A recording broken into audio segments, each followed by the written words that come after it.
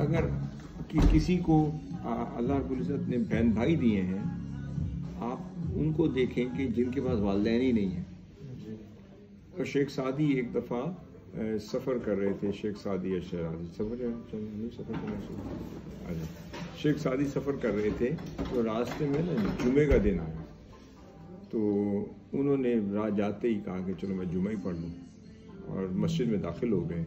नए नए जूते खरीदे थे उन्होंने। बेचारे मुसाफिर होते थे कहाँ वसाइल थे उस दौर में।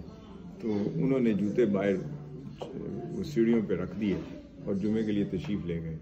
और जब वो वापस आए देखा तो जू, जूते ही गायब।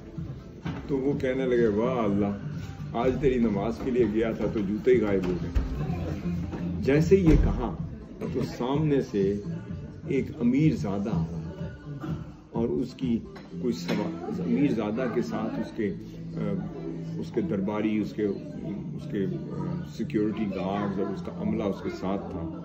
उसके इतने वसाइल थे कि वो दस के दस हज़ार जूतियाँ खरीद सकता था। मगर नीचे देखा तो उसके पास पाँव ही नहीं थे। अमीर ज़्यादा था पाँव के बगैर। तो आप उसी वक्त अल्लाह के यहाँ तोबा की, सजदे में गिर के तो मौला मुझे माफ़ कर दे, मैं तेरा शुक्र गुजार हूँ। उसके पास जूते खरीदने के लिए वसाइल हैं, पर पाँव नहीं। मेरे पास वसाइल नहीं तो कदम तो है, चल तो सकता। तो बस इंसान अपनी कैफियत को देख ले कि भाई आपके पास कुछ नहीं तो शेखुल इस्लाम तो है। वसाइल नहीं तो वालदेन तो हैं। कुछ नहीं तो वालदा दुआ तो करने वाली हैं। कुछ भी नहीं तो भूखा तो नहीं रहता। मेरी वालदा की दुआएँ तो मिलती हैं। कितने हैं जिनके वालदेन नहीं? चलो, बेटियाँ दी हैं तो कितने हैं जिनको औलाद ही नहीं दी? इंसान हर सिचुएशन में से एक ऑल्टरनेटिव सिचुएशन ज़रूर निकाल लेते हैं। वो कहते हैं, अल्लाह, मुझे नरीना औलाद ही नहीं मिली। देखें जी, एक नाशुक्री है। अगर सात बंदा सोचे कि कितने हैं जिनको औलाद ही नहीं दी तो चलो, उनसे तो बेहतर हूँ। और फिर अगर औलाद भी नहीं तो कितने हैं जिनकी शादी ही नहीं हुई? चलो, मेरी शादी तो है। कितने हैं जिनके ऊपर जिनकी कोई दोस्त नहीं नस्बत नहीं है? सकून सक, चलो पैसे कम है ज़िंदगी में सुकून तो है। चलो सुकून की नींद तो सोचता हूँ। उनके बाद पैसे दिए उनको नींद ही उनको नसीब ना हुई। और फिर उसके बाद अगर सब कुछ है और वो कुछ भी नहीं तो चलो हिदायत तो है तेरे हजूर दो सजदे तो कर लेता। मुझे एक सोबत तो है सालहीन तो मेरी ज़िंदगी में मिल गए कि मैं उनको तक तो लेता हूँ। मतलब हर कैफियत में, चलो वालदेन मुझे समझाते हैं तो चलो ज़्यादा डांटते हैं तो दूसरी तरफ़ देखूँ जिनके वालदेन ही नहीं है। कहूँगा, चलो वालदेन तो हैं, बेशक डांटते हैं, मगर वालदेन तो हैं। कल नहीं होंगे तो मुझे डांटेगा कौन, बताएगा कौन, दुआ कौन करे? हर सिचुएशन से एक सिचुएशन निकालें। उसके ऊपर शाकिर हो जाए, जाकिर हो जाए। जाकिर और शाकिर।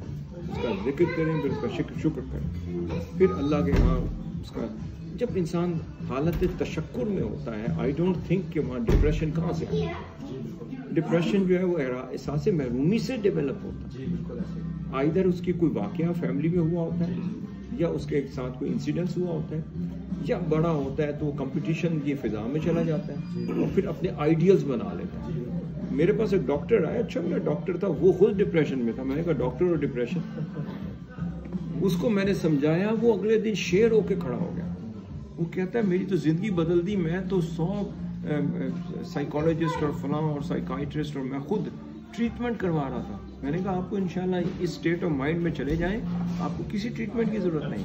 आप सिर्फ़ रात के उस पहर उठ के अल्लाह के हुजूर दो सजदे कर लें अगर दो सजदे कर लें और आपको जो सुकून उस वक्त मिलेगा ना, वो कोई भी आपको मेडिकेशन आपको सुकून नहीं दे सकती। वो जो अल्लाह के हुजूर जो आप कोई राज और न्याज की बातें करेंगे ना, और अपनी भड़ास निकालेंगे। Because some everybody wants you know कि उसकी भड़ास निकल जाए अंदर की बात। तो मुसल्ले में बैठ कर तन्हाई में आइसोलेशन में जो आप खुदा के साथ बात कर सकते हैं, वो आप किसी के साथ नहीं कर सकते। और इससे बेहतर मौका ही कोई नहीं। तो बेसिकली उस कैफियत में अगर बंदा चला जाए, मैंने उसको समझाया, मैंने कहा बात यह है कि ये सिचुएशन है। आप उनको देखें जिनके पास ये भी नहीं है। आपको अल्लाह ताला ने डॉक्टर बनाया पढ़े लिखे बनाए फैमिली बनाई चीज़ें बनाई मिराजू कुरान का शो दिया कि कितने लोग हैं जिनके पास ये भी नहीं है? जब उसको एंगल्स दिए ना सोचने के लिए ही came back to me quite happy and satisfied sir no I change person मेरी थेरेपी इतनी हो गई है।